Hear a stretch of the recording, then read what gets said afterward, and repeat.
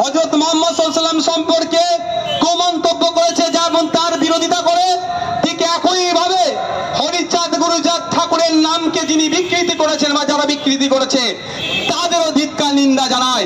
তাই সময় এসেছে, যারা এই যারা এই রূপুর শর্মার ব্যাপারে দিল্লি যাওয়ার কথা বলেছে তাদেরকে যেমন উচিত শিক্ষা দেব ঠিক একই ভাবে হরিচাঁদ গুরুচাঁদ ঠাকুরের সম্পদ নামকে নিয়ে যারা বিকৃতি করেছে তাদেরকে আমরা উচিত শিক্ষা এই পঞ্চায়েত ভোটে দেব কারণ আমরা পশ্চিম বাংলাতে দলিত আদিবাসী মতুয়া মুসলিম, সব পিছিয়ে বর্গের মানুষেরা কাঁধে কাঁধ মিলিয়ে বসবাস করছি।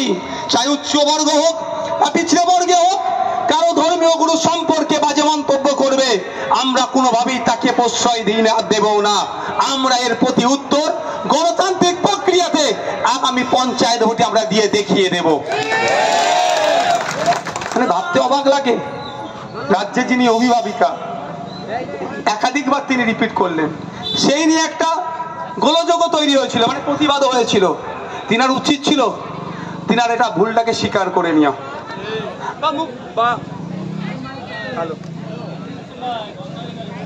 কিন্তু যেটা ভুল হয়ে গিয়েছে বা কি হয়েছে না বলে ক্লিয়ারিফিকেশন করে দিতে পারত। জিনিসটাকে ম্যাটারটাকে ক্লোজ করে দিতে পারতো কিন্তু এত ঔধত্য এত ঔধত্য একজন ধর্মগুরুর নামকে বিকৃতি করার পরেও তিনি তিনার ভুলটাকে স্বীকার করলেন না। তাই সময় এসেছে। ঠিকই যেমন হজরত মোহাম্মদ ইসলামের সম্পর্কে বাজে মন্তব্য করার জন্য যারা প্রতিবাদ করছিল, তাদের সম্পর্কে যে মন্তব্য করেছে তার প্রতি উত্তর দেওয়ার সময়, ঠিক একইভাবে সময় এসেছে। হরিচাঁদ গুরিচাঁদ ঠাকুরের নাম নিয়ে যিনি বিকৃতি করেছেন, তাকেও উত্তর দেওয়ার সময় এসেছে। সময় এসেছে। জল জমি জঙ্গলের অধিকার যারা কেড়ে নিচ্ছে, তাদের উত্তর দেওয়ার। সময় এসেছে। ফেক এসটিএসসি সার্টিফিকেট কেন সময় এসেছে, আমরা ভোটের মাধ্যমে তাদেরকে পরাস্ত করব। এই ভোটের মাধ্যমে তাদেরকে আমরা জনবিচ্ছিন্ন করব।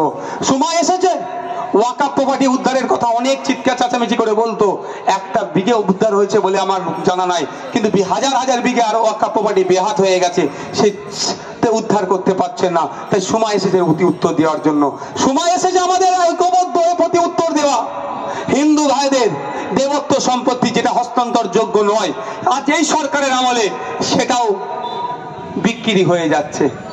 তাই আমাদেরকে ঐক্যবদ্ধ হয়ে কাঁধে কাঁধ মিলিয়ে সমস্ত রকম দুর্নীতি, অপশাসনের বিরুদ্ধে আমাদেরকে রুখে দাঁড়াতে হবে গণতান্ত্রিক প্রক্রিয়াতে। আমাদেরকে প্রতিরোধ গড়ে তুলতে হবে এবং দিনের শেষে যাতে ইন্ডিয়ান সেকুলার ফ্রন্টকে আগামী আট তারিখে খাম চিহ্নে ভোট দিয়ে বিপুল ভোট ভোটে জয়যুক্ত করা যায়, সেটা আপনাদের যারা এখানে উপস্থিত হয়েছেন আপনাদের আত্মীয় স্বজন যে যেখানে আছে, তাদের কাছে এই মেসেজটা পৌঁছে দেবেন door door door to door যে ক্যাম্পেইন করবেন, বড় মিটিং মিছিলের প্রয়োজন নাই। লোকের বাড়ির সামনে যান, তাকে বোঝান। আজকে আপনার হাতে পাঁচশো হাজার দিচ্ছে, মাকে বোঝান। মা আপনার হাতে পাঁচশো হাজার দিচ্ছে, আর আপনার ছেলেকে বিশ লাখ টাকা দিয়ে চাকরি কিনতে হচ্ছে। এই সমাজ ব্যবস্থা আমরা চাই না। পাঁচশো হাজারের আগে আপনার ছেলেকে যদি তিনশো তিরিশ টাকা ফর্ম ফিল করে আগা বিগত দিনে যেমন ফর্ম ফিল করে চাকরি করতো, সেই ব্যবস্থা আমাদেরকে ফিরিয়ে নিয়ে আসতে হবে। আপনার হাতে পাঁচশো হাজার দিচ্ছে, আপনার বাড়ির পুরুষ সন্তানটাকে, পুরুষটাকে দুয়ারে মত প্রকল্প দিয়ে মাতাল বানিয়ে দিচ্ছে।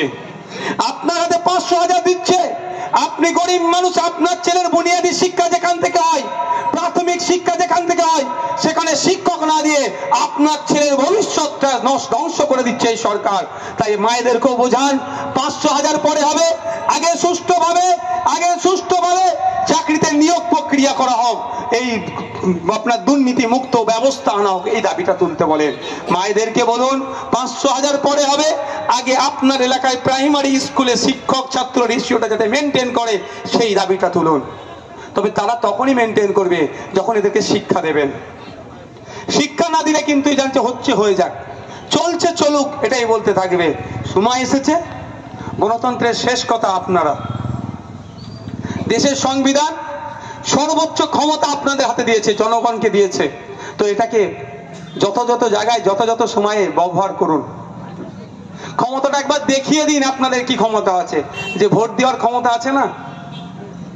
সব থেকে বেশি ক্ষমতা সংবিধান আপনাদের হাতে দিয়েছে, জনগণের হাতে দিয়েছে। ওটা সঠিক জায়গায় ইউটিলাইজ করুন।